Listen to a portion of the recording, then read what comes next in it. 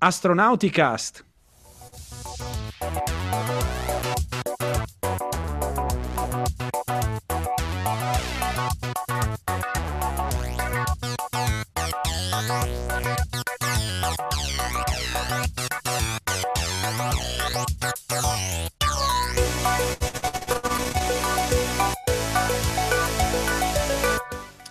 Astronauticast, puntata 31 della stagione 9. Benvenuti amici ascoltatori e amiche ascoltatrici da Marco Zambianchi.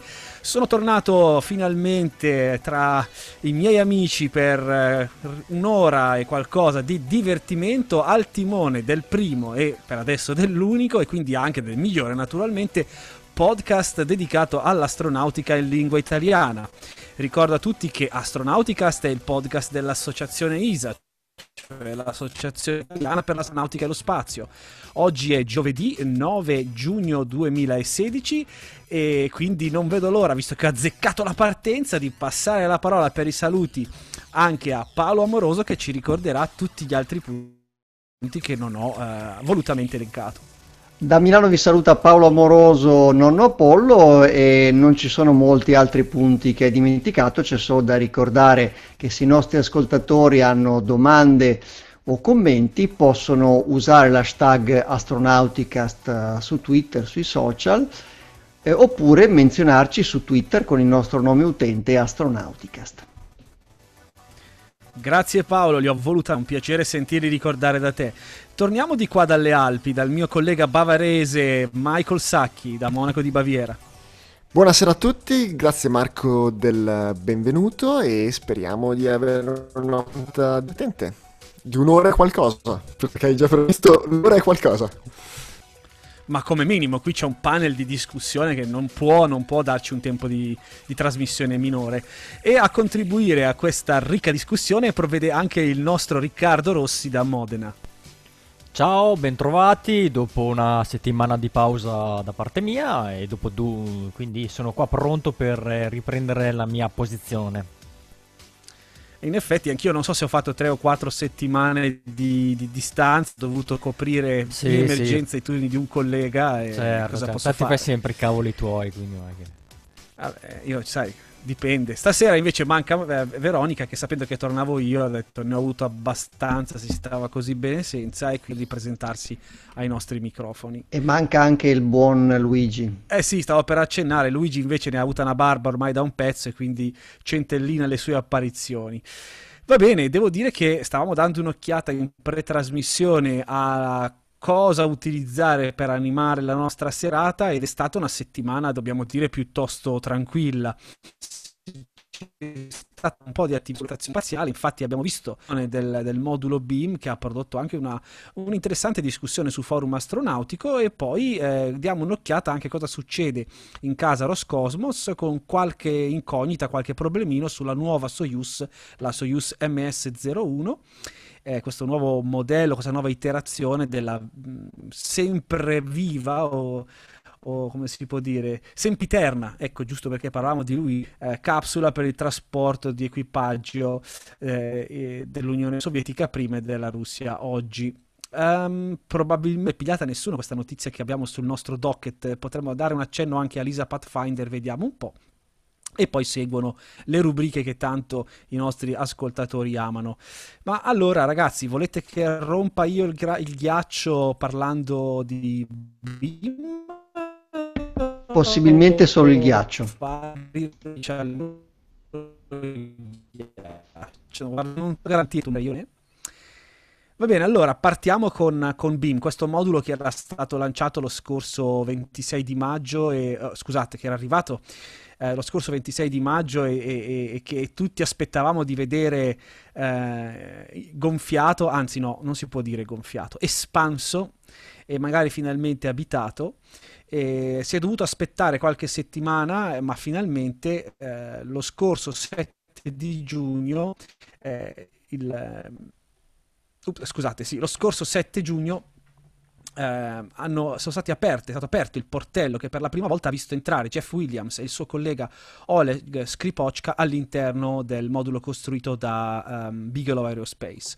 Cosa c'è di così particolare? Sono sicuro che ne avete già discusso nelle, negli episodi precedenti, cioè che la tecnologia dei moduli espandibili ci consentirà di trarre nello spazio oggetti che sono mh, fisicamente molto più piccoli dei moduli che fino ad oggi o fino a qualche tempo fa erano stati lanciati o con i classici razzi vettori oppure con lo Space Shuttle. Infatti BIM una volta lanciato occupava solo un quarto del volume che invece sta occupando ora una volta espanso. Erano le 10.47 di, ehm, del 7 di giugno quando Williams ha fatto ingresso nello scuro e angusto spazio che si è reso disponibile dopo l'espansione della settimana precedente niente. Cosa è stato fatto? Beh, intanto una verifica accurata della tenuta stagna che è durata circa 80 ore, questo prima dell'ingresso. E poi, eh, una volta entrato, Williams ha constatato che tutti gli elementi che erano presenti non presentavano eh, particolari segni di usura o guasti e c'era una temperatura piuttosto fredda in quanto il modulo è relativamente semplice. Eh, ci sono una serie di sensori sparsi all'interno di BIM, però non c'è un uh, vero e proprio sistema di riscaldamento, così come non c'è un sistema autonomo di ricircolo dell'aria. I due astronauti si sono limitati a raccogliere i dati dei sensori che hanno monitorato le fasi dell'espansione del modulo e poi li a Bigelow Aerospace per ulteriori analisi. Alla fine, dopo aver accertato che le bombole d'aria compressa che erano state usate per completare la pressurizzazione del modulo uh, fossero vuote, il portello è stato nuovamente richiuso dopo una, un'accurata pulizia della parte con le, con le guarnizioni. Uh, la curiosità, correggetemi o fermatemi se ne avete già parlato, è stata quella che eh, ci si è accorti eh, nel momento in cui si voleva mh, predisporre il circuito di ricircolo dell'aria all'interno di BIM, che di fatto è formato da due semplici tubi, uno che inser- inserisce l'aria in BIM e l'altro che la estrae, un po' come succede con i moduli russi. Ecco, in questo momento ci si è accorti che mancava un raccordo, la parte finale che consentiva appunto di agganciare i, bo- i bocchettoni dell'aria di BIM con il circuito di ricircolo della stazione. E allora un po' memory di, di, quello che era stato fatto su Apollo 13, sul modulo lunare di Apollo 13, quando si trovò la soluzione per utilizzare cucce al carbonio attivo di forma quadrata nei fori rotondi dell'M, eh, con quei materiali che erano già disponibili a bordo, gli astronauti, dopo alcune prove fatte dai colleghi a terra, hanno di fatto assemblato un adattatore eh, di fortuna, tra virgolette, eh, che ha consentito di, di, completare l'installazione anche di, di, questa parte. Insomma, Mark Watney ha fatto scuola e ancora una volta la realtà è stata, è stata interessante più se non addirittura della, della fantascienza. Eh, tutto quindi a posto, um, ho ascoltato più volte il video di presentazione del, dell'installazione del modulo BIM e dell'apertura del portello e se non ho capito male, ma i nostri ascoltatori sono liberi, anzi invitati ad andare sul sito astronautnews.it dove c'è la notizia che stiamo commentando, se non ho capito male saranno solo 6 o 7 gli ingressi previsti nel corso dell'anno e anche perché il... Um, il portello um, non è esattamente identico a quello della stazione, è un portello piccolo, uh, quello di BIM, e se gli astronauti non stanno svolgendo attività di monitoring all'interno viene chiuso, non è di fatto utilizzato, almeno in questo momento, per attività di stoccaggio o per qualsiasi altro esperimento che non sia la validazione del, del modulo stesso. Quindi nulla, potrei aver avuto un, un, un, problema uditivo, non credo, io ho capito 6 to 7, altrimenti saranno 67, quindi o sono 6 o 7 o sono 66. Ma anche guardando l'interno del modulo si capisce che eh, è difficile adattarlo a utilizzi normali sulla stazione spaziale, magari per riporre materiali. Si vede che proprio un ambiente spartano con poche attrezzature all'interno e soprattutto con poche possibilità di agganciare dei rec, degli esperimenti o anche soltanto dei supporti per tenere delle scorte e quindi usare come magazzino questo modulo. È effettivamente soprattutto un esperimento, un esperimento di tecnologia spaziale che ha l'aspetto di un modulo abitabile. Almeno in questa missione, insomma, il suo scopo primario sarà quello di ospitare dei sensori per raccogliere tutti questi dati e misure che serviranno poi per, eh, in futuro per creare veri moduli da utilizzare come parte integranti di astronavi e veicoli spaziali, quindi in modo che possano essere abitati e eh, usati dall'equipaggio per vivere e lavorare.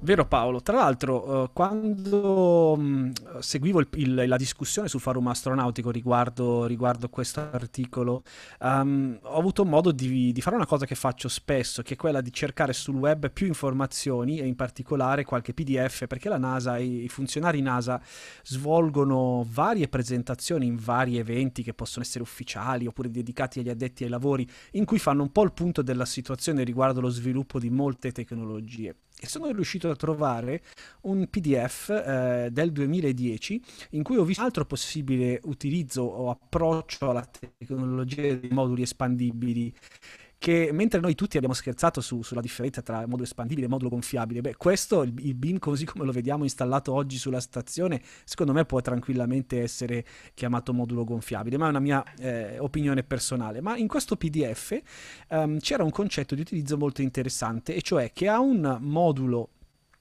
non molto più piccolo di quelli cilindrici attualmente lanciati con i mezzi chiamiamoli tradizionali, Ecco, sulla parte esterna, come se fosse una, eh, avvolta intorno al cilindro centrale, eh, si trova eh, naturalmente al momento del lancio ripiegato, ma poi una volta ritrovato, una volta inviato nello spazio, una volta arrivato a destinazione, si trova una sorta di, di camera d'aria che è dello stesso materiale di, di beam e che quindi che in tutte le direzioni semplicemente aumenta il diametro del modulo disponibile. Questo ha il vantaggio, e anche questa è una cosa che era, era emersa nella discussione, di mantenere al suo interno un core, tra virgolette, solido, che offre magari una ulteriore protezione agli astronauti in caso di utilizzo di un modulo simile nel corso dove abbiamo detto molte volte si è speculato, anche sempre sul forum, rispetto a una possibile spedizione marziana dove un modulo abitativo ampio potrebbe essere fondamentale per il benessere degli astronauti. Ecco,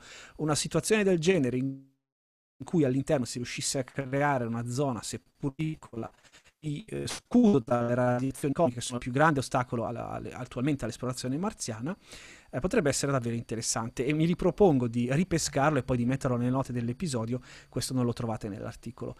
Un'ultima cosa, invito i nostri feticisti del, dei moduli espandibili a dare un'occhiata anche all'altro articolo che avevo scritto in precedenza e che sono sicuro è stato usato nelle puntate scorse, perché se vi siete persi eh, le fasi di espansione di Beam in tempo reale, ho recuperato e tagliato tutto quanto riunendo in un unico file le 10 ore abbondanti di eh, commento all'espansione di Beam. Quindi se avete una serata difficile in cui vi viene difficile addormentarvi, credo di aver trovato eh, la cura che può fare al caso vostro. Oppure si può usare come video ambientale, magari in un luogo pubblico, invece di mettere la solita musica, si può, si può trasmettere quello. Ah sì sì, De Gustibus è lì. E questo un po' insomma stiamo, stiamo in mente quello che rimane da fare per gli astronauti è continuare, come dicevi Paolo, le campagne di monitoraggio, cioè che gli ingegneri di Bigelow continuano ad aspettarsi naturalmente che gli astronauti eh, facciano ingresso in, in BIM e dopo che tra l'altro credo che lo scorso mercoledì siano stati installati al suo interno un'altra serie di sensori dedicati al montaggio di temperatura, livelli radioattivi e soprattutto segnali di microimpatti. E anche questa è stata una cosa interessante discussa molto sul forum, quindi ci saranno ulteriori dati da, da raccogliere a me tra l'altro è sembrato tutta un'attività estremamente manuale, anche il fatto che gli astronauti siano dovuti entrare per raccogliere che cosa? Forse delle, qualcosa di fisico, perché a quanto pare la telemetria raccolta dai sensori già presenti al momento dell'espansione non è, non è andata giù con la telemetria radio, altrimenti che senso avrebbe avuto schedulare un'attività del genere? E poi un'altra cosa che mi ha colpito è che di fatto il povero Williams ha, ha sacrificato un intero weekend eh, per, per eh, svolgere di espansione che dovevano probabilmente occupare solo qualche, qualche ma anche vedere so. Williams ruotare manualmente la manopola eh, la valvola per far entrare ossigeno, aria nel modulo da pressurizzare e contando mentalmente i secondi di apertura richiesti dal controllo missione.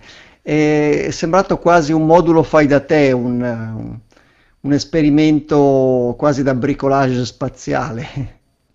Diciamo che il, eh, il, denaro magari risparmiato, anche se non credo a quel punto necessariamente. In, in automazione e relay, è stato bruciato tutto e contiamo il costo di un'ora astronauta a bordo della ISS, insomma 12 ore del tempo di Williams, va bene che sono finite nel suo tempo libero, buona parte di queste, però è stato un bel costo in termini assoluti eh, mettere in piedi questo... questo Ma questo modo. ci dà anche un'indicazione secondo me interessante dal punto di vista tecnologico, ci fa vedere la relativa semplicità di... Eh, del, delle operazioni con questa tecnologia. I materiali sono altamente sofisticati eh, sicuramente, ma il modo di controllare, di manovrare, di agire su questa tecnologia è relativamente semplice.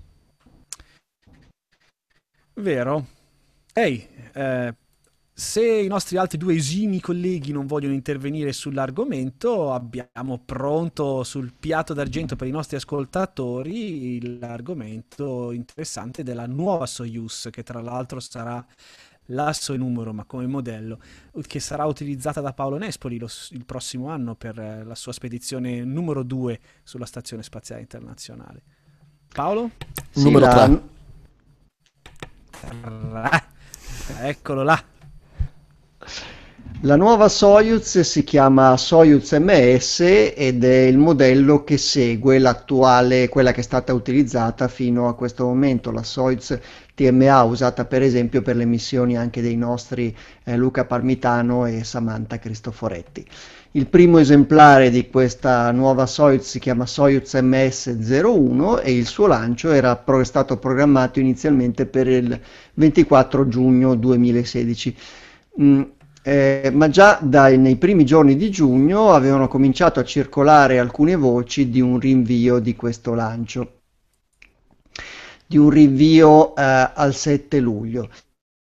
Voci confermate poi ufficialmente il 2 giugno dalla Commissione di Stato, anzi eh, il 6 giugno, scusate, eh, confermate ufficialmente dalla Commissione di Stato russa che ha, ha annunciato che il, la nuova data di lancio è il 7 luglio. Eh, qual è la ragione di questo rinvio? La ragione era dovuta a, ad alcuni risultati non soddisfacenti di alcuni test e simulazioni, secondo le quali durante le fasi di avvicinamento e attracco della Soyuz alla stazione spaziale si sarebbe potuto verificare un movimento di rollio non compensabile e non controllabile dai computer di bordo. Inizialmente si era sospettato un problema software, era stato aggiornato il software di controllo, ma il problema era eh, rimasto. Questo aveva indotto i tecnici e poi la Commissione di Stato a cercare un po' più di tempo per risolvere e indagare, eh, indagare meglio questo problema. Normalmente il, un rinvio di un lancio di un veicolo Soyuz, che sia un lanciatore o una capsula, ha una serie di conseguenze almeno per il programma della stazione spaziale, ha una serie di conseguenze a catena. Si rinviano eventuali lanci di eh, veicoli cargo progress derivati quindi dalla Soyuz ehm, e anche si rinvia normalmente la data di rientro dell'equipaggio dell'in- dell'incremento della Soyuz ehm, della, attualmente sulla stazione spaziale in previsione dell'arrivo del nuovo equipaggio. Sono stati confermati quasi tutti questi rinvii. Innanzitutto abbiamo detto che la nuova Soyuz, la, MS, la MS01, eh, eh, sarà lanciata il 7 di luglio. È stato spostato anche il lancio del Cargo Progress MS03 che era stato inizialmente previsto per il 7 luglio al 17 luglio. Ma eh, la cosa che ha destato un po' sorpresa e discussione è che eh, l'equipaggio della Soyuz attualmente a bordo della stazione spaziale dell'incremento che doveva rientrare a terra eh, rientrerà secondo la data prevista attualmente per il 18 di giugno del 2016. Si tratta dell'equipaggio della Soyuz TMA 19M con l'astronauta europeo Tim Peake. Eh, ha destato sorpresa, ne abbiamo discusso anche sul forum, perché eh, si cerca di non lasciare per molto tempo, eh, per più delle solite due settimane circa, in cui il, eh, per il rientro di un equipaggio a terra la, la, stazione spaziale rimane con tre soli astronauti a bordo. Dicevo, si cerca di ridurre al minimo questo periodo perché se ci sono la metà dell'equipaggio normale sulla stazione, questi astronauti devono dedicare più tempo alla manutenzione ordinaria e straordinaria della stazione e quindi meno tempo agli esperimenti e alla ricerca scientifica che è lo scopo principale per cui eh, viene, eh, è stata costruita la stazione. Per questa stessa ragione la nostra astronauta Samantha Cristoforetti si era vista prolungare di alcune settimane la sua missione futura l'anno scorso nel 2015 rientrando eh, l'11 giugno invece che all'inizio di maggio come inizialmente previsto. In quella occasione la ragione era stata eh, l'incidente a un cargo automatico Progress che aveva avuto anche in questo caso conseguenze sul lancio dell'equipaggio successivo. Quindi faranno parte dell'equipaggio eh, successivo del, della Soyuz MS-01 il cosmonauta russo Anatoly Ivanishin, il comandante, l'astronauta giapponese Takuya Onishi e l'astronauta della NASA, quindi l'astronauta americana Kathleen Robbins.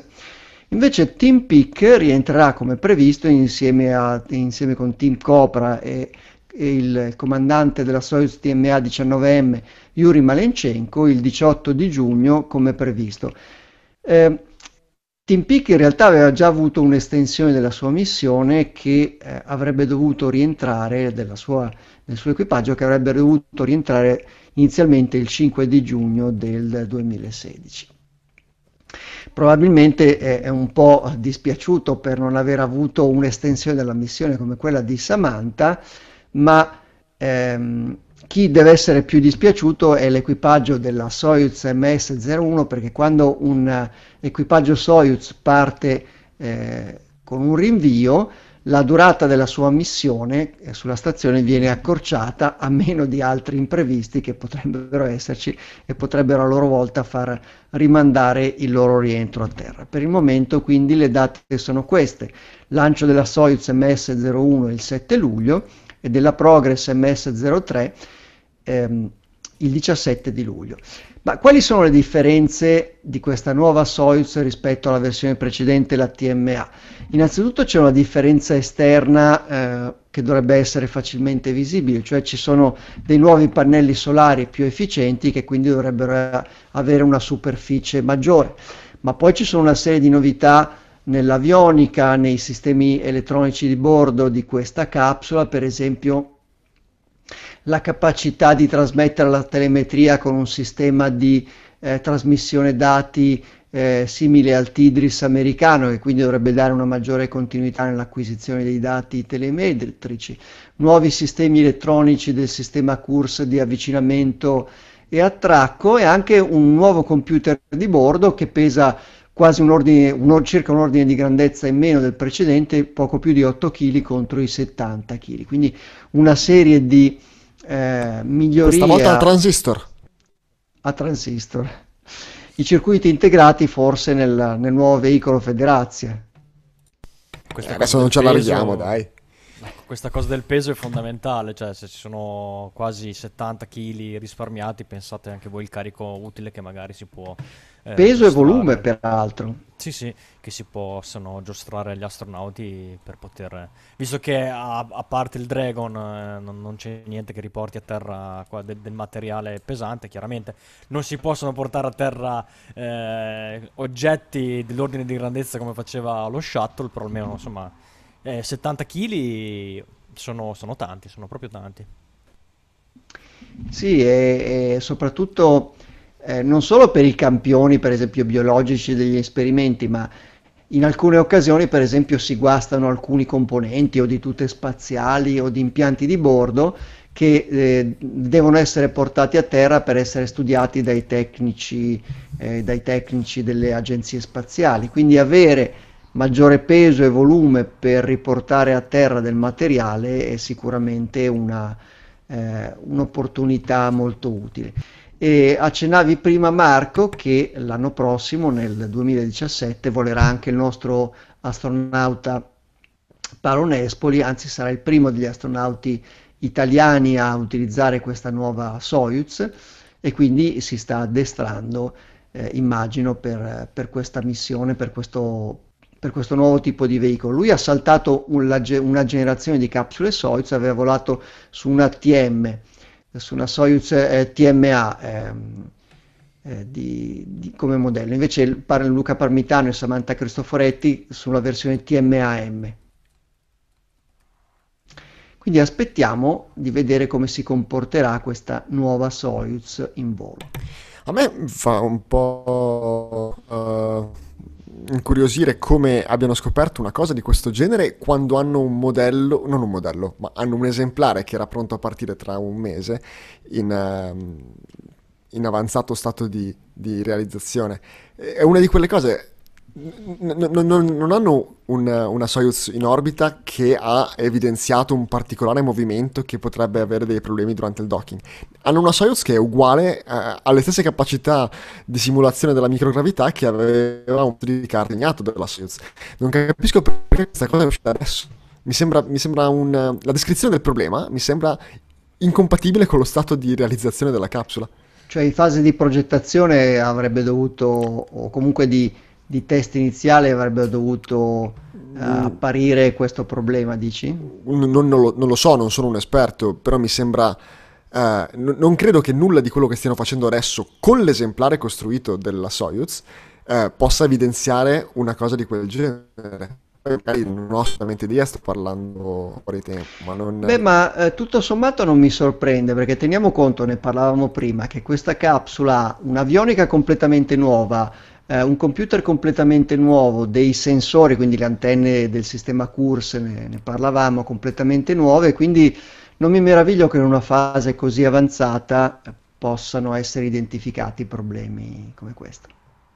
Sì, no, probabilmente hanno fatto dei test di integrazione sul primo, sul primo modello che vola, che è, è atipico, ma sì, può essere.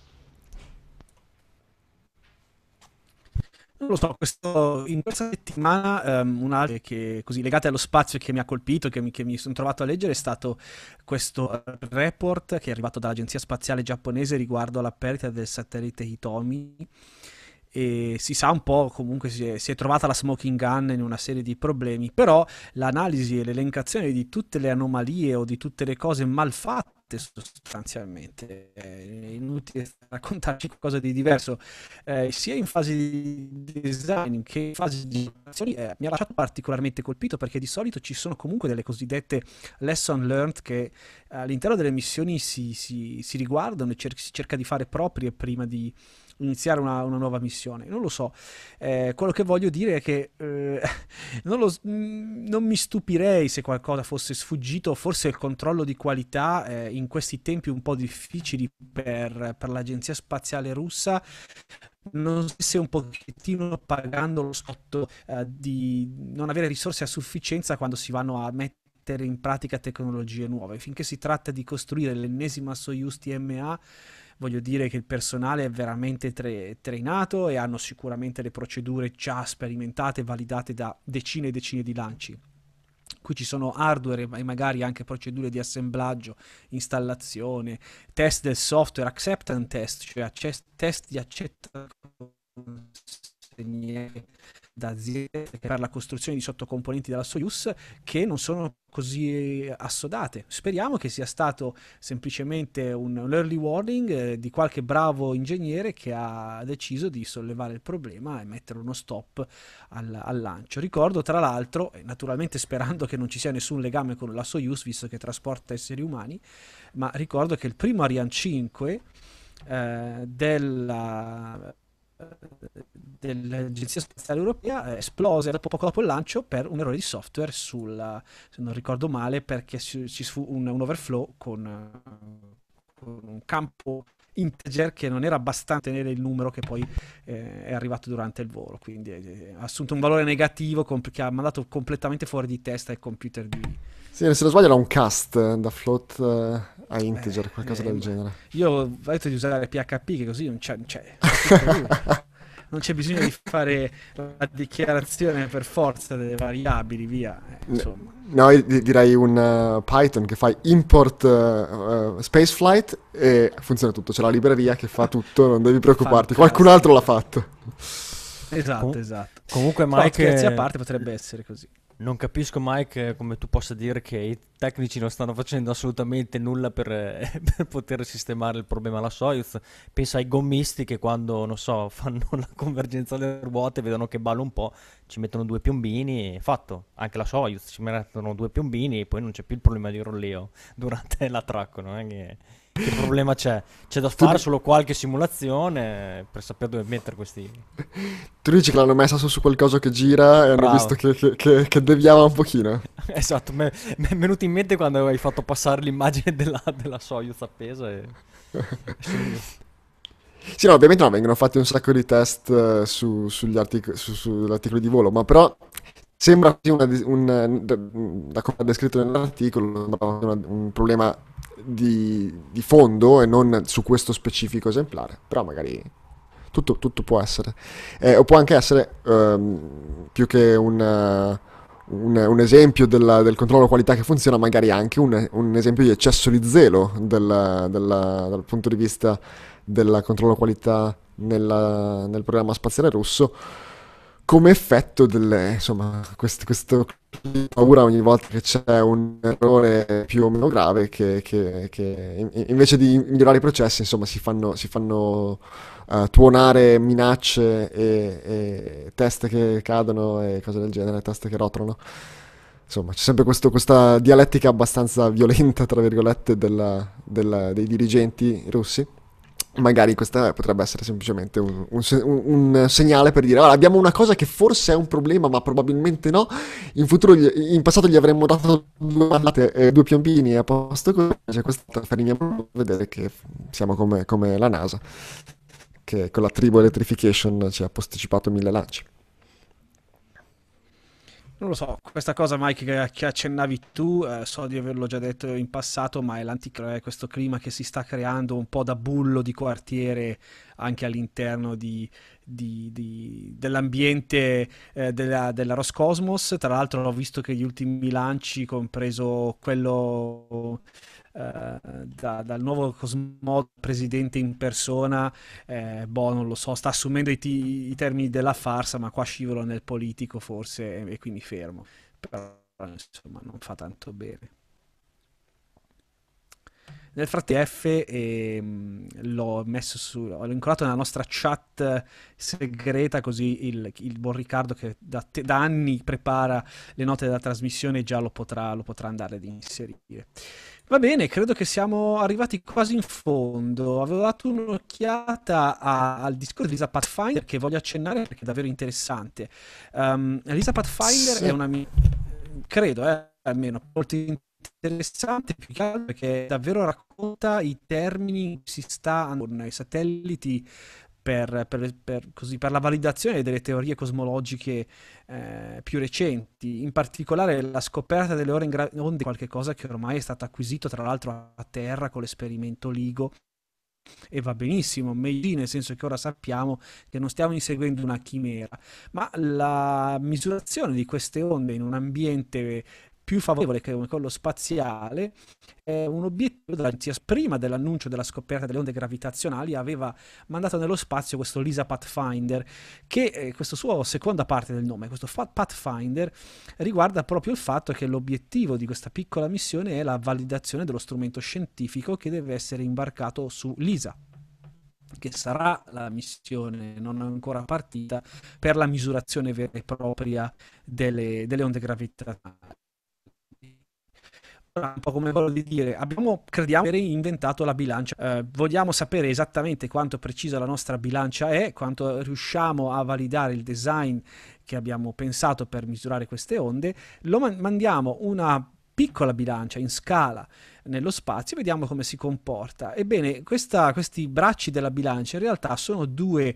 cubi di materiale ricoperti in oro di 46 mm ciascuno e soprattutto al test riguardava la capacità di misurare la distanza tra oggetti. Eh, ce ne saranno altri all'interno degli strumenti di Lisa, ma naturalmente un design così innovativo non riguarda solo il, lo strumento di misura in sé, ma anche la capacità, per esempio, di controllare in maniera minuziosa i movimenti del satellite, per cui ogni vibrazione, ogni così, azione meccanica esterna indotta sui, sui due pesi uh, crea una, una, una, falsa lettura, un disturbo, un rumore, per così dire, dell'esperimento che vuole eliminare. Ebbene, già il primo giorno dopo il lancio, la valutazione della precisione di ISA Pathfinder era, aveva raggiunto i, i, requirements, quindi il minimo, il minimo, indispensabile di precisione previsto in fase di design per, per, per l'ISA Pathfinder stesso e ha eh, ecceduto di gran lunga, di 5 volte il, il limite di design della missione LISA. Quindi cosa è successo? Essendo stati così veloci a ehm, raggiungere il livello di precisione minima richiesta, in queste settimane, in questi mesi in cui l'ISA Pathfinder sta volando, gli scienziati e i tecnici si stanno adoperando per raffinare al massimo la, la tecnologia alla base di questa bilancia particolare e in effetti devo dire che a ESOC ci sono le due stanze accanto alla main control room che dal giorno del lancio di l'ISA Pathfinder non sono mai state abbandonate da un gruppo internazionale di studiosi che in tempo reale, mentre una, il, il, Flight Operations Team controlla il satellite, analizzano, collezionano e analizzano in tempo reale e sul posto i dati di visita Pathfinder, che comunque è una missione destinata ad avere una breve durata, è solo, dicevo, è semplicemente un dimo, ma per, mi, per comprendere quanto deve essere precisa la misura di, ehm, di questo strumento, ecco, deve essere in grado di misurare lo spostamento relativo tra le due masse di te che significa, attenzione non si scrive FMT, eh, mi raccomando, taglio le mani, um, un milionesimo di un miliardesimo di metro. Quindi è qualcosa che ha 369, 12 zeri. È una frazione di un raggio atomico fondamentalmente. Però quando si tratta di sistemi di guida, sistemi EOCS, l'ISA Pathfinder per, per in grado di essere 10.000 volte più stabile di qualche eh, satellite lanciato infatti conosco questo dettaglio perché? Perché l'ISA Pathfinder imbarca lo stesso design di uh, attuatori uh, a thruster a micro thruster che è stato um, adottato per Gaia, che è un altro satellite per cui ho la fortuna di lavorare e che ha la necessità di eh, contenere in maniera assoluta le vibrazioni meccaniche impartite sul corpo del satellite, oltre che le sollecitazioni termiche, quindi richiesta al suo CCD. E quindi questo, questa esperienza fatta su Gaia è stata incorporata e migliorata tra l'altro nel design di Risa Pathfinder e naturalmente troverà posto anche nel design di Risa. Um, parliamo molto, è uno dei miei cruci personali è quello di far conoscere a tutti voi amici ascoltatori che capite l'italiano, quantomeno se non siete italiani, che abbiamo un'agenzia nazionale, um, europea, abbiamo un'agenzia continentale che fa cose meravigliose con un budget relativamente ridotto. E quindi date un'occhiata per, per chiudere con una cosa ai, uh, al blog di ESA eh, il blog di ESA di Lisa Pathfinder dove trovate aggiornamenti in tempo reale, relativamente in tempo reale sulla, sulla missione e niente, stiamo davvero a- aumentando sempre di più la capacità di osservare fenomeni più sfuggenti per la loro stessa natura. Quindi sono, sono veramente contento che i colleghi abbiano centrato questo obiettivo così importante è una, una, lotta contro una sorgente eh, di rumori che è il nostro universo. Eh, stiamo, lo scopo di Lisa Pathfinder è osservare dei segnali che, eh, sfuggenti li hai chiamati Marco, ma è, è, sono invisibili, non sono, eh, non sono, qualcosa che normalmente percepiamo, perché una deformazione dello spazio-tempo significa che anche i nostri sistemi di riferimento ovviamente vengono, vengono uh, variati di conseguenza ed è difficile misurare qualcosa cosa di Gell cambia di, di, dimensioni mentre misura qualcosa, no? Quindi l'unico modo è mettere eh, eh, due, due, cose diverse a distanza e misurare la loro distanza con sistemi eh, il più possibile eh, non influenzati da questo cambiamento o sfruttando il fatto che il, la distanza delle due masse viene, viene variata, come, come, il laser appunto. Ma eh, non è soltanto il, la, la, misurazione il problema, è la non misurare tutto quello che eh, eh, succede a queste masse che, non, che è, di, è, di, ordini di grandezza completamente maggiori rispetto al segnale e si parla di, ehm, di eh, spostamenti dovuti a, a, interazioni elettrostatiche tra il cubo, in questo caso i due cubi dentro l'ESA Pathfinder e le pareti del, del contenitore, eh, per quanto siano nel vuoto e nel, nel, um, nel più possibile eh, scaricati elettrostaticamente, ci potrebbero essere delle piccolissime cariche che vanno a um, sommarsi. Piccolissime ehm, particelle di atmosfera rimaste all'interno di questo, di questo, contenitore potrebbero colpire periodicamente le pareti o i cubi stessi andando a, a, a sommarsi come ehm, in maniera uh, neutra, quindi non, non, spostando il cubo, ma andando a, a, avere delle piccole oscillazioni attorno a un equilibrio che potrebbero assomigliare al segnale che stiamo cercando, ovvero una, di, una distanza, uh, una variazione della distanza tra i due cubi è affascinante, stavo leggendo l'articolo su Spaceflight Now, uh, è un elenco di, di, di, queste, di, queste, fonti di disturbo che eh, sono state eh, tenute in considerazione e annullate. Ovviamente non si possono evitarle completamente, eh, però eh, si possono modellizzare e poi an- eh, andarle a togliere dalla misurazione di modo che quello che rimane è effettivamente il segnale misurato. E eh, quindi lo scopo, l- il- la vittoria di Lisa Pathfinder, che è già una vittoria, eh, non è soltanto il dimostrare che è possibile aggiungere questo tipo di precisione, o meglio superarla 5 volte eh, più alte delle, delle, dei requisiti, ma anche di dare una, una quantificazione di questi disturbi che eh, sono eh, sono probabilmente già ipotizzati a livello teorico, ma poterli misurare effettivamente non, non, si stanno misurando le onde gravitazionali, ma si stanno misurando tutti quegli effetti che non ci permettono di, di misurarle chiaramente.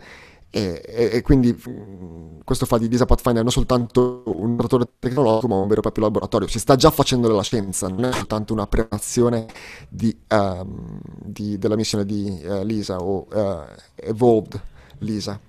Eh, poi qua, come si arriverà a, a, quella missione è tutta un'altra storia, perché è un'altra, un'altra lega. Um, per quanto uh, fantascientificamente complicata sia l'ISA Pathfinder, uh, per uh, ELISA si parla di um, tre diversi satelliti, tre masse a, a svariati chilometri di distanza, qualcosa come 3 milioni di chilometri l'uno dall'altra, quindi un triangolo di satelliti in orbita solare eh, che misurano la, la loro distanza reciproca. Il costo di quella missione è attualmente previsto tra gli 1 e i 2 miliardi di euro, lancio previsto nel 2034, quindi aspettatevi gli euro raddoppiati e la data spostata verso destra di qualche decennio. Ma eh, quando ci si arriverà, si, arri- si arriverà ad avere eh, qualcosa che è molto di più è un passo avanti nella cosmologia con telescopio.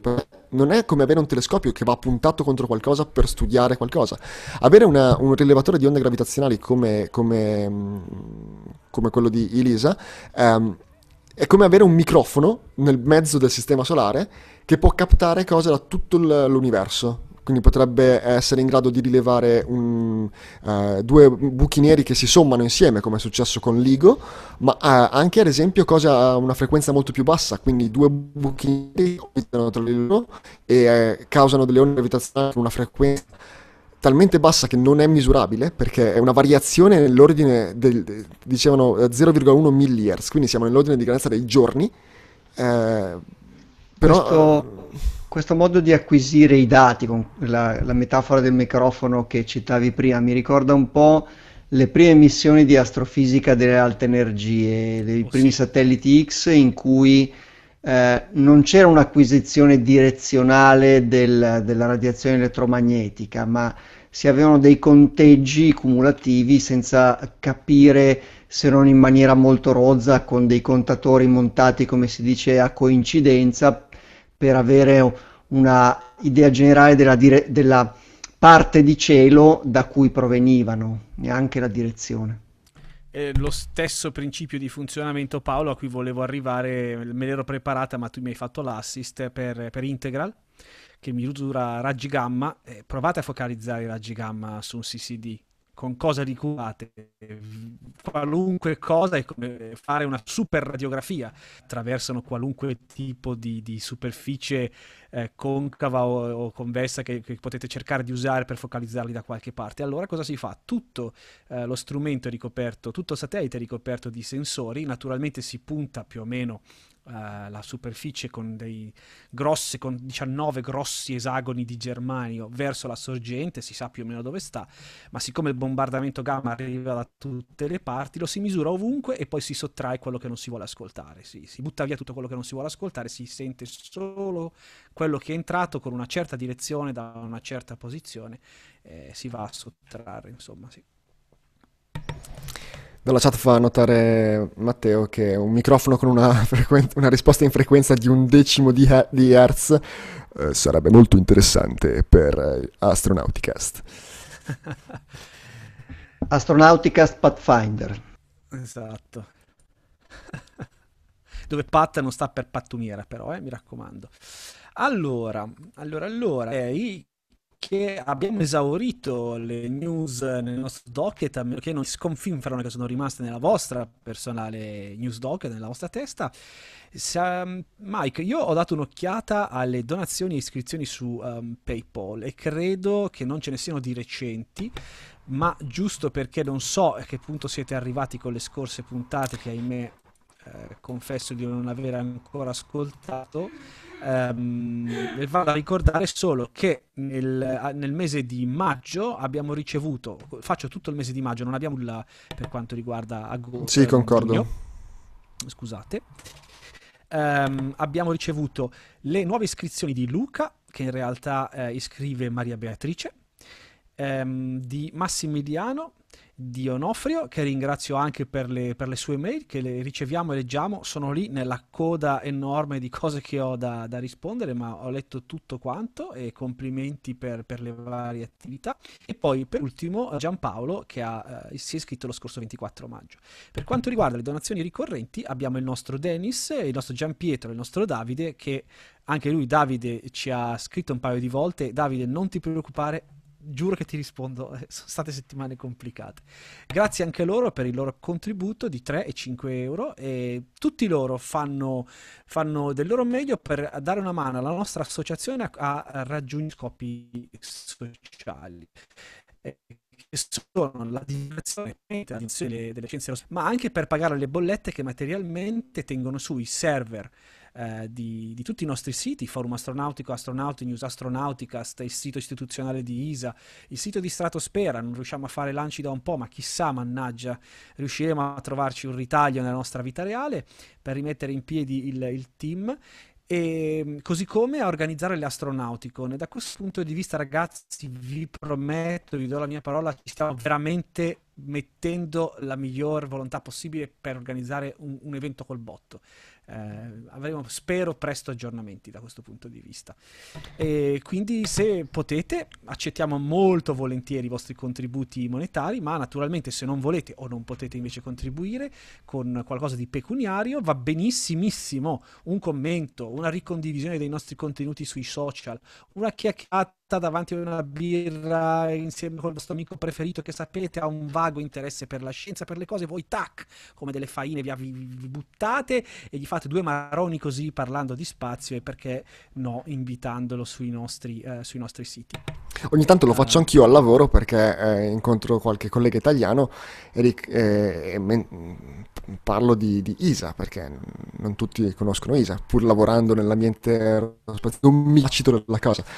E quando la metà mi rendo conto che ho perso questa persona che sta guardando fuori dalla finestra, considerato che lavoriamo sottoterra principalmente, è una cosa abbastanza complicata da fare e non, non funziona. Quindi cercate di essere più convincenti del sottoscritto. Volevo ringraziare Giampaolo che, eh, giusto per chiudere, eh, visto che abbiamo salutato i nostri, i nostri, donatori e nuovi soci, che si è iscritto a ISA, eh, ho, ho un sistema di invio di benvenuto quando registro i membri e ho aggiunto nella di benvenuto l'indirizzo a cui intendiamo inviare la tessera perché è successo in passato che qualcuno usa un indirizzo diverso in PayPal, ne abbiamo già parlato. Um, quindi per, per, per controllo metto l'indirizzo. Tac, mi ha beccato subito che l'ho sbagliato a scrivere e mi, ha, mi, ha, me l'ha corretto e ha approfittato per dire che eh, si è iscritto a ISA soltanto per ringraziarci del, del nostro lavoro con Astronauticast. È una delle, delle fan mail più comuni che ti dicono mi sono iscritto perché Astronauticast questa cosa mi rende, di, eh, mi rende, il cuore pieno di gioia e quindi voglio ringraziare Giampaolo. Mm. C'è anche la fan mail di Massimiliano, citato poc'anzi comunque da Marco, che dice di solito non scrivo mai ma ci tengo a farvi sapere che i vostri sforzi, la vostra passione sono molto apprezzati.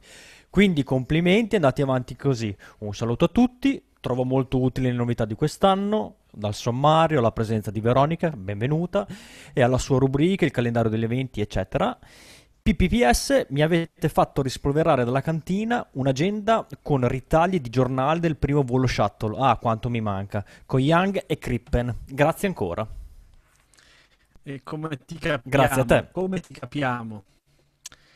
Come ti capiamo. L'abbiamo detto in apertura, eh, questa settimana, eh, in realtà non succede quasi mai, però questa settimana, quando abbiamo dato un'occhiata ad Astronauti News per pescare, e qui arriva l'ultimo dei ringraziamenti, per pescare gli articoli da usare questa sera nella diretta, ricordo che tutto quello che noi commentiamo si basa su articoli preparati da un, da un gruppo di articolisti volontari, che non, non, solo non percepiscono una lira, ma hanno degli sforzi a volte davvero grandi eh, per eh, portare contenuti e tra questi vorrei nominare, perché abbiamo chiacchierato la scorsa settimana, Marco Carrara, che si occupa personalmente di fare la traduzione e l'aggiornamento in italiano dei, dei, log della stazione spaziale, che sono enormi da un punto di vista quantitativo, sono tanti e sono ciascuno eh, centinaia e centinaia di parole, uno sforzo enorme che va avanti da anni e abbiamo dato occhiata alle statistiche uno dei articoli meno letti purtroppo e capisco anche perché si tratta di, di qualche cosa di ver- veramente di nicchia.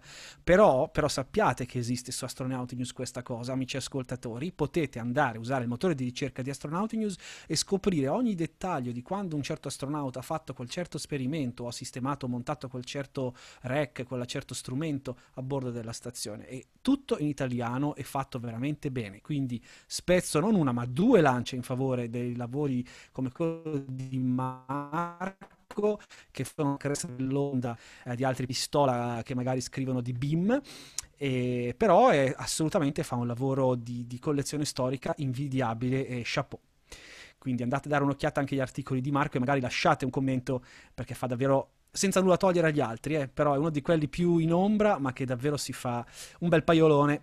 Quindi grazie Marco anche da me in diretta, molto contento. Ok, eh, possiamo chiudere così la, la questua e dare spazio alle rubriche nostra, del nostro podcast. La prima, eh, come sempre, sono le storie di nonno Apollo. Arriva anche la sigla, eh? Arriva anche la sigla, giuro. Al di sopra della terra c'è una magica città, là si fanno esperimenti con strumenti di ogni età. Chi saranno le persone strane che vivono là? Nonno Apollo ci racconta le loro curiosità.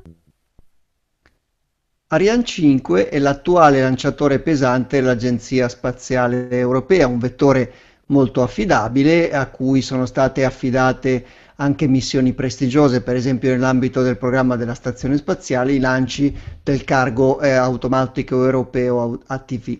Oppure è prevista anche la missione altrettanto prestigiosa del lancio del telescopio spaziale James Webb eh, della NASA nel 2018 a cui contribuirà appunto con questo volo l'Agenzia Spaziale Europea. Ma la lunga carriera di questo lanciatore pesante iniziò nel modo peggiore, iniziò proprio con un incidente nel suo volo inaugurale di cui alcuni giorni fa è, è caduto il ventesimo anniversario. Il 4 giugno del 1996 si disintegrò in volo il primo esemplare di Ariane 5 nella missione nel volo 501 che avrebbe dovuto mettere in orbita quattro satelliti dell'Agenzia Spaziale Europea, quattro satelliti geofisici del programma Cluster. A 37 secondi dal lancio dalla base di Kourou nella Guyana francese, il razzo iniziò una brusca variazione di assetto che eh, di circa 90 gradi, che iniziò a sottoporlo in quella fase del volo a una forte pressione aerodinamica, eh, alla, raggiungendo quasi la velocità del suono, cominciò a disintegrarsi e poi venne definitivamente dis- distrutto dal sistema automatico di autodistruzione, dal sistema di terminazione del volo che eh, lo fece esplodere e distruggere. Per capire quali furono eh, le origini, le cause tecniche di questo incidente, bisogna andare un po' indietro nello sviluppo di questo lanciatore e soprattutto nel, nelle tendenze nell'evoluzione dell'ingegneria del software di quegli anni. Già dall'inizio degli anni Ottanta nel settore del software e dell'informatica eh, si era cominciato a parlare molto di, riuti- di riutilizzabilità del software, era nata la programmazione ad oggetti che aveva tra i suoi punti cardine proprio la riutilizzabilità del software per ridurre i costi di sviluppo eh, e quindi eh, consentire la creazione di sistemi software eh, portabili e comunque di, di costo inferiore. Nel caso di Ariane 5 era stato riutilizzato una parte del software sviluppato per la, la precedente versione di questo lanciatore, Ariane 4, software scritto nel linguaggio di programmazione ADA. In particolare era stato riutilizzato il software per la gestione della piattaforma inerziale del lanciatore, cioè il, l'insieme, il sistema di sensori, di sistemi di calcolo che mantengono la posizione, la direzione e eh, la, l'orientamento del, del lanciatore fanno parte del sistema di navigazione. Era stato eh, conservato, era stata mantenuta anche una parte di questo software di gestione della piattaforma inerziale che però non sarebbe stata utilizzata nei voli di Ariane 5 che eh, disponevano di uh, che, um, per i quali si utilizzava una procedura diversa per l'allineamento della piattaforma, cioè l'inizializzazione. Con Ariane 4 c'era una serie di procedure di allineamento, cioè di inizializzazione della piattaforma, per tenere conto per esempio di rinvii del lancio eh, che avrebbero dovuto richiedere quindi nuove condizioni di posizione, velocità e orientamento del vettore. Con Ariane 5 invece questa procedura era diversa e quindi quella parte del software non era utilizzata. Eh, in questo caso una, un, c'erano una serie di controlli nel software di Ariane 4 della, di gestione della piattaforma che eh, erano stati eliminati, non, non, erano stati comunque aggiunti nel, nel software corrispondente per Ariane 5. Per esempio delle asserzioni, come si dice nel gergo informatico, cioè dei controlli eh, del valore di alcune variabili. Una di queste variabili era l'accelerazione orizzontale del lanciatore che in Ariane 5 era enormemente maggiore del lanciatore precedente e meno potente Ariane 4. Durante quel volo del 4 giugno del 1996, il volo 501, eh, il vettore Ariane 5 mh, subì delle accelerazioni orizzontali 5 volte maggiori di quelle previste per Ariane 4 di cui il software riusciva a tenere conto che non causavano problemi nel caso dell'Ariane 4. Queste accelerazioni maggiori eh, generarono un overflow nella conversione tra una variabile a 64 bit eh, a virgola mobile a un'altra a 16 bit intera. Quindi mentre la variabile di 64 bit era sufficiente per rappresentare questi valori, la, l'altra variabile convertita, quella che doveva ricevere questo valore a 16 bit intero, non era invece in grado di rappresentarla. Questo generò dei valori contre, co, completamente arbitrari nel sistema di controllo e di navigazione che eh, fece fare dei bruschi movimenti ai motori, agli ugelli di scarico per compensare delle eh, accelerazioni che in realtà non erano reali, erano soltanto dovute a, una, a un errore di conversione. Questo fece eh, modificare eh, bruscamente l'assetto, come vi accennavo, del lanciatore facendolo piegare di circa 90 gradi e quindi innescando la disintegrazione aerodinamica iniziale e poi la terminazione con l'esplosione del sistema di controllo e terminazione del volo. Questa in sintesi la causa tecniche. Ma oltre alle cause tecniche ci furono una serie di eh, errori di management, di gestione del progetto, eh, non soltanto il riutilizzo di una parte di software che eh, non era prevista per questo volo, ma anche la mancata verifica e simulazione di questa parte del software dei sistemi di bordo con eh, i carichi simulati, con le accelerazioni simulate previste per Ariane 5 e in effetti in fase di analisi dell'incidente, eseguendo questa simulazione, si eh, ricostruirono esattamente le fasi della distruzione di questo volo di Ariane 5. Quali furono queste conseguenze tecniche e gestionali? Beh, intanto questo bug, questo errore software è stato uno degli errori più costosi, uno dei bug più costosi della storia dell'informatica. Si è valutato in circa 370 milioni di dollari il danno eh, causato da questo bug.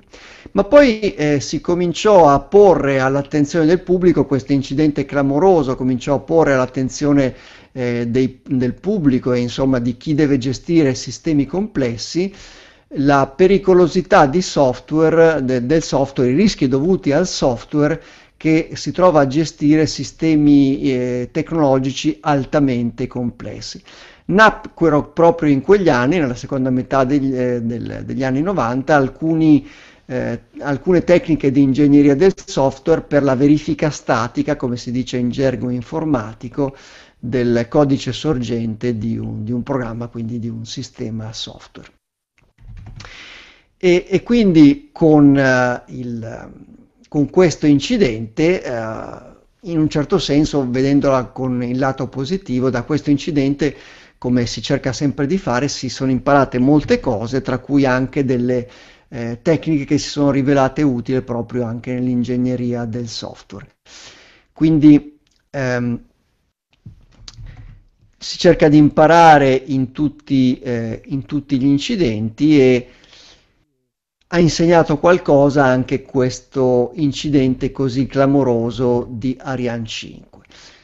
I satelliti cluster non furono inseriti in orbita in quella missione del 1996, riuscirono ad andare nello spazio, portati questa volta da un uh, lanciatore russo Soyuz nel 2000, i satelliti della costellazione cluster che credo che siano ancora in orbita e uh, operativi e gestiti dall'agenzia, dall'agenzia Spaziale Europea.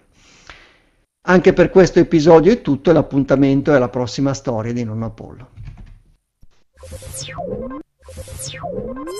No!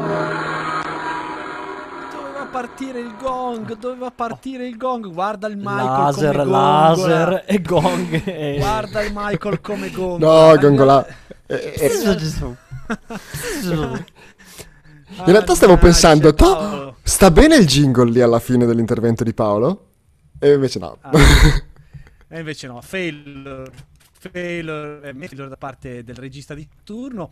Paolo, io, io ti giuro che no, ho parlato di Ariane 5, ho fatto lo spoilerone prim, prima di vedere che era, che era scritto chiaro nel, nel trello. Che non è un problema, anzi non è stato un po' uno spoiler ma un teaser perché Beh. abbiamo avuto modo di approfondire cosa è accaduto in questo incidente e ne parleremo ancora più avanti altro teaser. Grazie Paolo. Peraltro ti dirò che quando vorrai eh, o potrai accettare l'invito al tour VIP di ESOC ti porto a vedere eh, quello che resta di recuperato, sono stati recuperati alcuni resti di uno dei quattro cluster a bordo di questo Ariane 5 ed è messo in bella mostra in una bacheca trasparente, di vetro trasparente, di fronte alla control room di Rosetta, Mars Express e Cluster. Visto, visto. Sì, un monito per tutti eh, gli addetti al settore spaziale a non ripetere certi errori. Eh, ed è infatti da quelle che è nato SCOS che adesso infatti gioia Volevo giusto dire che eh, da, da, allora il software in ambito spaziale europeo è perfetto. Eh sì, diciamo che eh, il, questo volo 501 è diventato poi un case study non soltanto nel, nell'ambito dell'informatica, ma anche di tutti i settori dell'ingegneria. Penso, penso, che la storia di Ariane 5 mi sia stata raccontata da due o tre professori durante il corso di ingegneria informatica a Milano. Poveracci, poveracci. E va bene, insomma. D'altra parte, dicevi tu Paolo, gli errori servono soprattutto ad imparare, è la stessa, stessa mentalità con cui si è approcciata l'analisi delle, delle misfortune di... Eh, di Hitomi che, che vengono commentate eh, abbondantemente anche in ESA, non perché ci è stato chiesto ufficialmente di farlo, ma perché purtroppo cerchiamo di fare esperienza anche con gli errori degli altri, purtroppo per loro, naturalmente non siamo contenti che i colleghi abbiano perduto la missione, ma quando capitano queste cose se ne fa tesoro e in ambito spaziale di problemi ne abbiamo visti davvero tanti. Va bene, ehm, so che eh, ci sono i famosi astronauti quiz che ormai hanno, hanno preso piede. Paolo, hai... amoroso, ci dica la soluzione dello scorso astronauti quiz. Beh, intanto ricordiamo la domanda, poi parliamo della risposta. Esatto, vai, vai Paolo. La domanda è chi è stato il primo astronauta a consumare un, un pasto nello spazio e qual è stato questo pasto. Allora, definiamo in, innanzitutto eh, cosa intendiamo per consumare un pasto, definiamo eh, eh, inghiottire del cibo, ma, masticarlo regolarmente, insomma ingerirlo regolarmente e basta. In modo che il cibo rimanga all'interno. Allora, Portate pazienza que... perché vi spiegheremo perché stiamo facendo questa precisazione. Secondo questa definizione, il primo a consumare un pasto è stato l'americano, l'astronauta americano John Glenn del programma Mercury nella sua missione Friendship 7, la prima missione orbitale degli Stati Uniti nel 1962 e eh, mangiò, riuscì a mangiare della mousse di mela eh, in questo suo primo pasto nello spazio. Se invece utilizziamo un'altra definizione di consumare un pasto, cioè di ingerire qualche cosa che poi viene anche espulsa mh, con sistemi mh, tipo il vomito, allora il primo eh, eh, che ha consumato un, un, pasto è stato il cosmonauta sovietico German Titov nella missione Vostok 2 nel 1961 che eh, ne abbiamo parlato anche nella rubrica di Nono Apollo tra i, i, record non ha avuto soltanto il record di durata perché la sua missione per l'epoca eh, fu un record di durata con poco più di 24 ore di presenza nello spazio, di permanenza nello spazio, ma fu anche il primo a eh, a subire i sintomi del mal di spazio per un periodo di tempo piuttosto prolungato. Quindi questo pasto non riuscì a mangiarlo, a, a digerirlo completamente. Ok, e spero, penso che tu Paolo abbia già sotto mano anche il, il nuovo Astronautic Quiz. Io no, ma se ne avete voi possiamo proporlo. Allora, me ne preparo uno prima della fine della puntata. Nel frattempo andiamo dritti all'ultima delle rubriche del, del nostro podcast. Vediamo un'occhiata al cronometro. Vi avevo promesso un'ora di divertimento, risate approfondimenti. Ho raggiunto l'obiettivo, compresa la mia buona dose di strafalcioni e stupidaggini. E allora passiamo ai link della settimana. Chi inizia? Vai tu Riccardo, dai.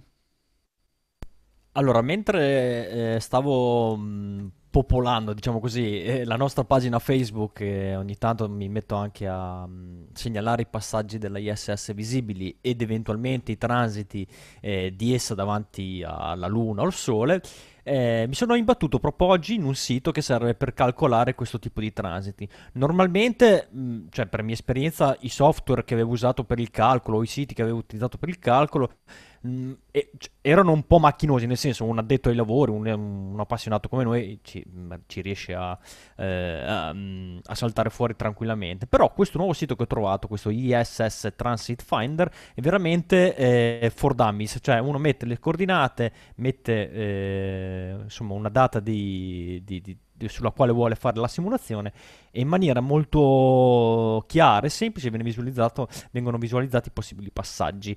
E chiaramente bisogna avere un'avvertenza, questi transiti davanti alla, al Sole e alla Luna, eh, soprattutto se volete fare delle foto, si tratta di, cioè, di eventi che durano 1, 2, 3 secondi in base all'altezza delle del Sole e della Luna. Quindi eh, fare una simulazione tipo una settimana, due settimane prima potrebbe dare delle piccole discrepanze sul momento esatto del transito della ISS davanti al, al, al, all'astro in, preso in considerazione poi considerate che l'ISS magari farà, fa un reboost, sono piccole variazioni che però ne, nell'ordine del secondo possono diciamo rovinarvi la festa se volete fare una foto. Quindi eh, può, anche, sì... può anche essere non una questione di tempo ma di chilometri, potrebbe essere che il transito accadrà ma non esattamente dove lo calcolate oggi, quindi se, se trovate il vostro prato eh, in campagna perfetto per catturare il transito, magari se c'è una settimana di mezzo c'è un reboost della stazione spaziale, il transito avverrà comunque, ma a 4 km a est. Esatto, essendo il corridoio non molto largo, è utile avere l'informazione precisa anche del, della center line, insomma del, del, del punto migliore potete, eh, dove vi potete piazzare per vedere questo transito. Il sito eh, potete andarlo già a vedere eh, da subito quando vi, vi, vi, andrete a leggere le note dell'episodio. Magari potete fare una simulazione per qualche giorno, qualche settimana, venire per prepararvi. Però vi consiglio di, eh, il giorno prima di ri, ri, rifare la simulazione stessa per avere i parametri più precisi possibile. Bello, bello, carino. Perfetto, Paolo, giusto per restare in tema, stasera non ne abbiamo parlato. Cosa riguarda invece il tuo link Torniamo a parlare di Ariane 5 per proporvi un video del lancio di questo volo inaugurale dell'incidente eh, di, di Ariane 5 del volo 501 del 1996. In questo breve video di poco più di un minuto e mezzo si vede il lancio dell'Ariane 5 e eh, si notano soprattutto due cose. La prima è facile, cioè si nota eh, lo stupore dei controllori di volo e dei, di quelli che hanno assistito al lancio, lo stupore e la delusione poi per questa esplosione in volo. Ma poi invito anche il vostro occhio da geek spaziali a notare le fasi della distruzione. Eh, vedrete in questo video che il razzo comincia a piegarsi quasi in 90 gradi e cominciando a perdere pezzi, a distruggersi per le sollecitazioni aerodinamiche. E noterete anche, il vostro occhio geek dovrebbe notare mh, verso lo stadio superiore un breve lampo di luce che dovrebbe essere l'accensione, secondo me, così l'ho interpretato, di un thruster, di un un motore d'assetto di, eh, che cerca di compensare le, le indicazioni erronee, eh, non reali, che arrivavano da questa um, piattaforma inerziale impazzita per modificare una traiettoria che in realtà non, non aveva problemi e quindi a piegare il, il razzo nella direzione poi che avrebbe portato alla distruzione è una cosa molto interessante da seguire, facile da ricostruire, cioè da, da capire ora che sappiamo come sono andate le cose. Non ho capito in quale minuto, in, in quale minuto, poco prima dell'esplosione o stavo cercando questo lampo? Sì, quando comincia a piegarsi eh, dall'assetto nominale di volo. No, ah, ecco, okay, eh, eh, poco prima del momento che hai mostrato, un lampo, eh, un puntino di luce nella parte superiore del razzo che almeno credo che si possa interpretare in questo modo. Tra l'altro questo filmato ci fa apprezzare tantissimo i 1080p, sono ormai quasi uno standard nelle riprese di, di lanci spaziali. Purtroppo nel 99 non... 96. Non, 96, grazie Paolo, non era esattamente quello di cui ci si poteva... E poi abbiamo avuto, ci, eh, ci sono stati anche problemi di riversamento, non so se questa ripresa sia stata analogica o digitale in origine, poi nel caricarla su YouTube... C'è un interlacciamento notevole che si nota sì. nelle cose che si spostano in orizzontale. Per fortuna che i razzi normalmente Sembra... vanno in verticale. Quando loro, le loro piattaforme inerziali non danno i numeri. No, tra l'altro è, è, secondo me è preso questo da un servizio TV perché subito dopo queste, sì. queste, queste immagini vengono ripresi i volti anche traumatizzati. Sì, è un montaggio. Delle, delle persone che erano presenti al lancio. Va bene, allora, è arrivato il mio turno, l'avevo annunciato prima, vedo che Riccardo è stato bravissimo, l'ha trasformato in un vero e proprio link della settimana. Eh, parlo del, del PDF, della presentazione di questi due ingegneri NASA che hanno illustrato quello che era un po' il roadmap e le aspettative, gli obiettivi per i programmi legati ai moduli espandibili e ha attirato moltissimo il mio occhio eh, la solita roadmap proprio perché ci dimostra quanto a volte ci possono essere un po' di ritardi tra i tempi programmati e quelli poi effettivamente osservati di un programma, per esempio la installazione di quello che può essere il nostro modulo BIM sulla, sulla ISS era prevista per eh, 2012-2013, quindi siamo tra i 3 e i 4 anni in ritardo. Ma tutto il contenuto rimane validissimo. Vedete, se avete la possibilità di leggere in inglese, vedrete come praticamente col modulo, modulo BIM si sono realizzati i tre quarti degli obiettivi che questi due ingegneri si erano preposti al momento della loro presentazione, quindi al di là dei ritardi, un, un messaggio di fattività interessante. E, come vi ho detto tanti tanti sul forum astronautico si era discusso della composizione di questa stoffa chiamiamola così del materiale del rivestimento del modulo BIM quali e quanti sono questi strati. Beh c'è un, naturalmente un brevetto di Bigelow che non ci consentirà molto presto di scoprire i dettagli più raffinati, ma su questa presentazione trovate qualche idea e quantomeno una descrizione sommaria eh, di cosa sia stato utilizzato eh, per, per realizzarlo e quindi lo trovo un, un documento particolarmente interessante. Poi Paolo, tu dicevi che il software di uh, Ariel è stato scritto in, in, linguaggio ADA, lo stesso linguaggio peraltro utilizzato per il software di, eh, di controllo di almeno due dei computer. E allora da dove arriva questo nome? Naturalmente deriva da, è un omaggio a Ada Lovelace, e Lovelace è una delle, delle più belle biografie che io da avido ascoltatore di podcast ho incontrato nel, negli ultimi anni è quella fatta da Carlo Becchi e tra chi? Tra i nostri ascoltatori quella straordinaria bellissima trasmissione che è stata in podcast Tecnica Arcana di Carlo Becchi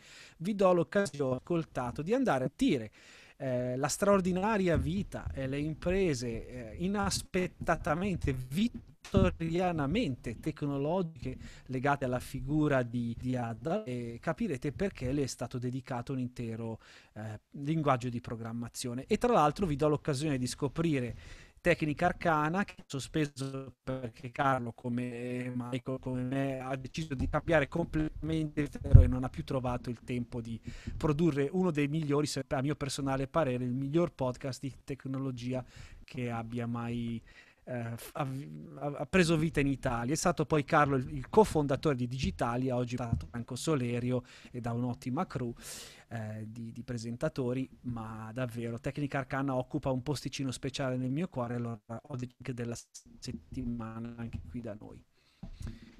E vorrei aggiungere che sì?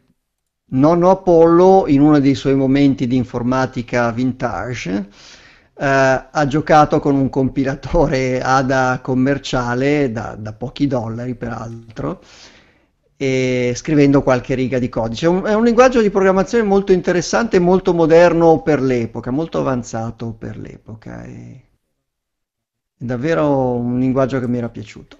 Questo Paolo mi ricorda davvero, è un angolo questo qui dove ci servirebbe la musichina Marcord, ma non oso mettere le mani sul soundboard perché ho già eh, fatto errori a, a Iosa stasera. Mi ricorda come ho fatto il tuo recruitment. o meglio, come ho fatto la tua conoscenza per la prima volta, ero, avevo trovato il tuo nome su una mailing list dedicata al linguaggio Lisa, eh, se non ricordo male. Lisp. O Lisp, scusa. E è stato, è stato lì che uh, sono riuscito a, fare, a avere il piacere della tua conoscenza e poi portarti dentro tutto il giro dei matti qua. Va bene, stiamo arrivando. Vuoi fare tu la Veronica e parlare, appropriare il suo calendario e raccontarci un po' cos'è il calendario? Sì, molto rapidamente abbiamo ancora in, eh, in partenza un, uh, il Delta 4 Heavy che in teoria doveva essere già decollato, però eh, problemi al meteo, ora danno il 30% di chance di go, ci sono poco meno di 3 ore per la finestra di lancio, insomma eh, probabilmente per chi ascolterà il podcast se decolla stasera non avranno l'occasione di vederlo, per chi invece magari ci ascolta in diretta magari buttate un occhio perché il lancio di un Delta 4 Heavy è sempre molto spettacolare, soprattutto per eh, le fiamme che si sprigionano eh, all'inizio del lancio, poi qui, qui, con noi abbiamo i soliti raccomandati che sono riusciti a vederlo anche dal vivo, un lancio Delta 4 Heavy se non mi ricordo male, giusto? Quando eravate andati a vedere... Era un Delta 2 se non Era un Delta 2, eh, pensavo un Delta 4, vabbè. Eh, sì, ce lo siamo visti il primo giorno prima di vedere. Va bene, allora per chi vuole dare... Chi vuole Poi aspetta un attimo che chiudo in diretta sul sito di sì. Ula, eh. Sì, esatto. E invece no, per, per, la... sì, per, il resto della settimana abbiamo il lunedì 14 eh, Cygnus lascerà la stazione spaziale e probabilmente avremo un lancio SpaceX, quindi da, da, sempre da Cape Canaveral, sempre per un satellite di telecomunicazioni geostazionario, quindi eh, insomma la, le premesse sono le solite, come, come, sempre vedremo se riusciranno a fare un altro eh, recupero del primo stadio per aumentare diciamo, la, la serie positiva. E poi Veronica segnala due convegni, uno presso l'Agenzia Spaziale Italiana che si chiama I 10 anni di MRO e un convegno Spazio Italia con l'intervento di, di, di, Maurizio Cheli, abbiamo, ne abbiamo parlato anche sul forum che abbiamo l'organizzatore che ci sta tenendo informato sul, ci ha tenuto informato via via che la scaletta degli eventi, dei panel si riempiva e quindi potete anche se siete in... Um, in zona Roma poter assistere a questo evento. Giovedì prossimo ci risiamo noi, quindi ci riaggiorniamo tra una settimana.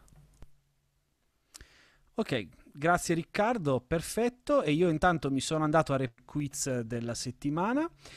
Allora, il senatore Jake Garn, un repubblicano dello Utah, è stato un payload spordo della missione Shuttle STS-51D chi è stato, questa è la domanda, il secondo parlamentare a volare a bordo di una missione Space Shuttle? Così vi andate un po' a sfogliare i vostri appunti, le vostre agende. Eh? Quindi credo sia semplice questa volta rispondere, nel senso che la domanda non lascia spazio a possibili senatori che hanno fatto un mezzo volo, eh, ma o, o sì o no.